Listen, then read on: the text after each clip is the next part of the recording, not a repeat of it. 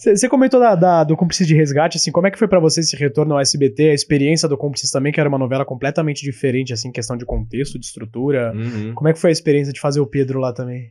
Cara, sensacional. Acho que É. foi uma das novelas que eu mais curti fazer, assim. É, é claro que o projeto em que você está é sempre especial, Sim. né? Mas relembrando aí do- dos- dos tempos anteriores, é, acho que uma das que eu mais gostei de fazer, porque era um personagem bastante diferente de mim, né? Hum. Ele era muito jovem, era ainda filho de... Ah, mas você é jovem também, pô, imagina. Você tá se chamando de Você velho? falou muito diferente. Ele era jovem, eu falei, pô. Ele era ô, ô, mais ô, jovem. Sacanagem, cara, puta cara jovem aqui. Ele era mais jovem. e tinha uma certa dependência, apesar de, ser independente, ele tinha Aham. uma certa dependência do pai e da mãe ali, né? Hum. Então, ainda um filhinho de papai e mamãe que ficava ali em casa e tal, já trabalhava, tudo, mas tinha aquela questão, ô mama, né? E, e, e um cara muito ah, explosivo também, mais truncão, assim, né? Um pouco mais é, bruto, né? E Uhum. tal. É.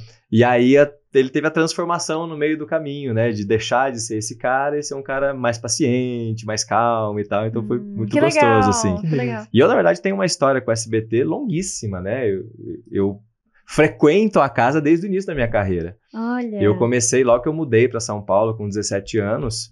Se eu não me engano, no ano seguinte eu comecei a fazer figuração da Praça é Nossa. Olha, Olha só, cara, lá Carlos atrás. Alberto de Nóbrega. Que legal É. isso. que Tem o pé na incrível. comédia também, então? Tem, tem um negócio. Um mais- pouquinho, um pouquinho. Não é o meu forte, mas, mas que tem um pouquinho. legal, Mas que tem um pouquinho. legal. Então eu comecei fazendo ali figuração na, na Praça é Nossa, né? Que é o pessoal que fica sentado nas mesinhas ali Aham, atrás e tal, com o Carlos Alberto. Às vezes chamavam pra fazer um quadro ou outro, uma pontinha ou outra. Uhum. A gente ficava super feliz e nervoso. Foi né? muito legal. Dava aquele frio na barriga, a mão ali suando, É, tremendo. É. Não, até porque era gravando ao vivo, né? Então não tinha muito você voltar e fazer de novo, Aham. né? Raramente eles voltavam. Era Então, gravado, mas como que, que, veio vamos. isso É. de, da figuração, você ir crescendo e ganhando mais personagens e Ah, tudo o tempo isso? das coisas, né? fazendo... É. É, o estudo, o aprendizado, Uhum. experiência, maturidade, né? Vem tudo junto. Sim, Então, ali eu aprendi muito, muito, muito, vendo artistas incríveis com ali. certeza.